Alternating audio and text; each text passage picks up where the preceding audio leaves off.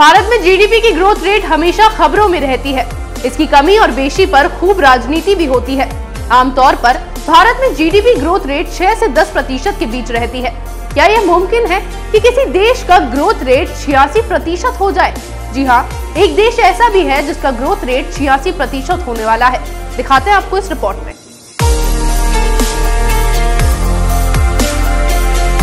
दक्षिण अमेरिका के सबसे छोटे और गरीब देशों में से एक है गुयाना।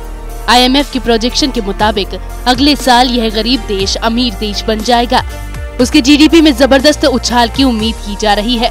आईएमएफ का मानना है कि 2020 में गुयाना की जीडीपी का विकास दर छियासी फ़ीसदी हो जाएगा, जो अभी चार दशमलव चार फ़ीसद है। भले ही गुयाना एक छोटा देश है, इसकी आबादी सात से आठ लाख के करीब है, लेकिन फिर भी इतनी बड़ी उपलब्धि है जो किसी चमत्कार से कम नहीं। अब एक नज़र इस देश पर भी डाल लेते हैं। गुयाना की आबादी 2016 में सात लाख अस्सी हज़ार के करीब थी ब्राज़ील, सुरीनाम और वेनेजुएला से इसकी सरहदें मिली हुई हैं। जहाँ तक आबादी के कॉम्पोजिशन का सवाल है तो इस देश में 40 फ़ीसद के करीब भारतीय मूल के लोग हैं। यह लोग 19वीं और 20वीं सदी में भारत से गए गिरमिटिया मजदूरों की संतान हैं। इनके अलावा 30 फ़ीसद के करीब अफ्रीकी मूल के लोग हैं, जो गुलामी प्रथा के समय वहाँ गए थे 20 फ़ीसद लोग मिली जुली नस्ल के हैं जिन्हें दोगला कहा जाता है। बाकी के 10 फ़ीसद स्थानीय अमेरिंडियन है।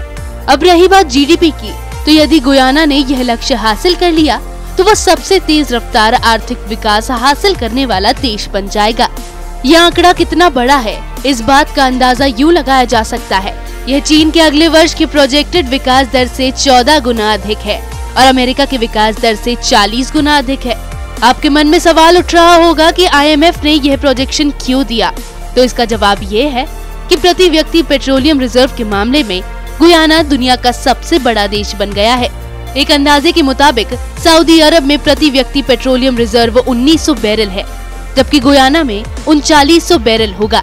अभी इस देश में पेट्रोलियम की खोज पूरी तरह से मुकम्मल नहीं हुई है और ऐसी उम्मीद की जा रही है कि यहाँ पेट्रोलियम के और भी भंडार मौजूद है।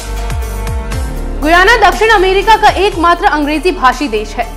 पिछले कई दशकों से यह देश आंतरिक उथल पुथल और नस्ली हिंसा का शिकार रह चुका है। लेकिन अब लगता है कि इस देश के दिन न केवल फिरने वाले हैं, बल्कि प्रति व्यक्ति आय के मामले यह दुनिया के विकसित देशों की श्रेणी में आने वाला है। इसी तरह की खबरें मैं आपके लिए लाती रहूँगी। तब तक के लिए बने रहिए हमारे साथ। अगर आपको हमारा वीडियो पसंद आया हो तो इसे लाइक करें, हमारे चैनल को सब्सक्राइब करें और हाँ बेल आइकन दबाना ना भूलें। ताकि आप तक हमारे वीडियो की नोटिफिकेशन पहुँचती रहे। आप अपना सुझाव हमें कमेंट बॉक्स में दे सकते हैं। हमारे साथ जुड़ने के लिए शुक्रिया।